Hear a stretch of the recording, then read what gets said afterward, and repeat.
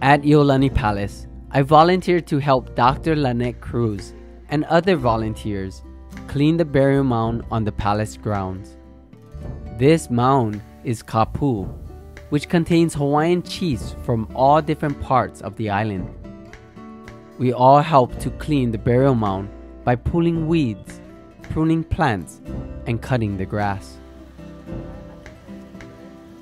One of the things I learned was that the 32 people who are still here, uh, after there were a number of them taken over to Mauna Ala, Hawaiians put great emphasis on caring for those who have passed.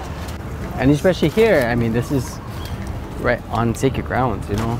So I, I can hear Ulu chanting, and she's actually closing for us, even though we're still in here, so we got a time for us to move on.